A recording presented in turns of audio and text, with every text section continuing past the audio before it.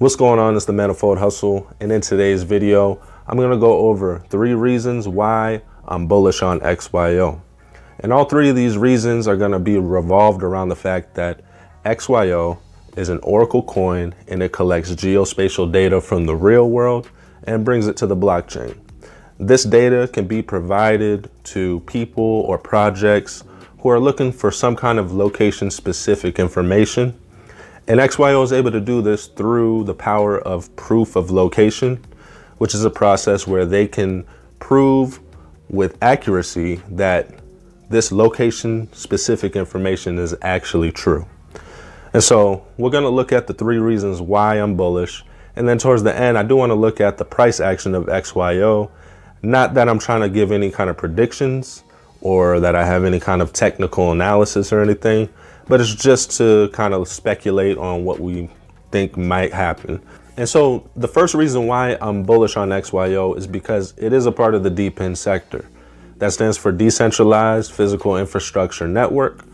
And I see a lot of value that XYO can bring to certain projects within this DePIN space.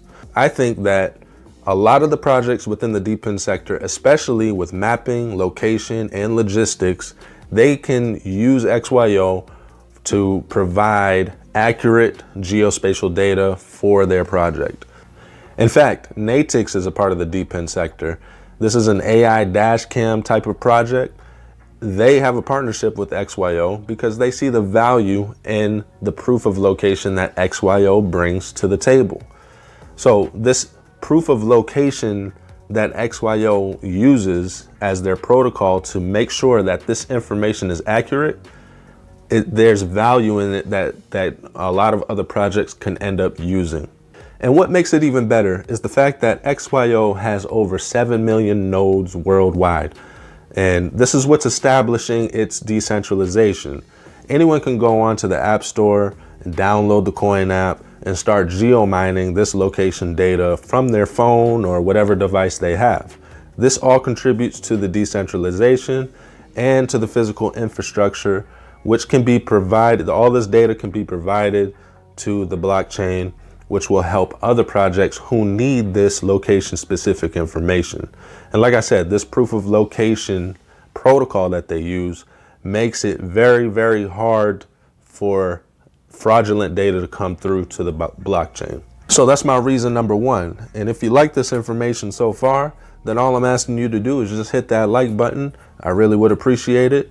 And let's get into number two. So the second reason why I'm bullish on XYO is because it aims to be a big part of the metaverse.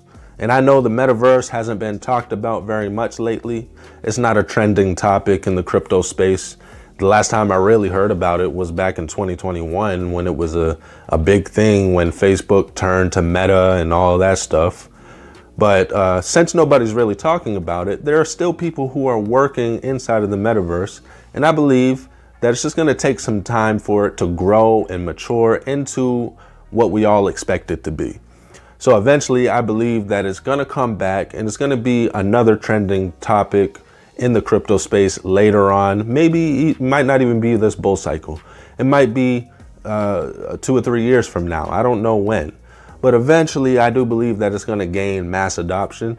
And I think XYO, because it can provide real world data to the blockchain, it could be somewhat of a bridge between the real world and the, um, the metaverse.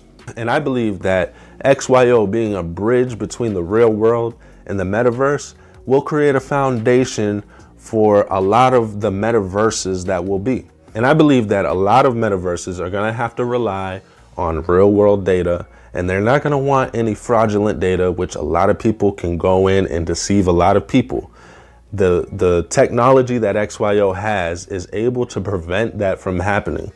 And so if they can provide this location data or whatever data from the real world and be a bridge into these metaverses that are going to be created, then I see a lot of value in what XYO can bring. I know that a lot of metaverses that are being created are going to need this information because they're going to be creating maps they're going to be creating things that are going on logistically, and they're going to need to rely on all this information that XYO can bring to the table. Now, I know XYO has competitors and big ones at that. They got Chainlink. They got um, other other Oracle coins can be their competitors. But I think XYO being specific to geospatial data brings value that no one else can really bring. Not in the, the way that XYO can because it's such a big infrastructure. So that's the second reason why I'm bullish on XYO is because of the metaverse.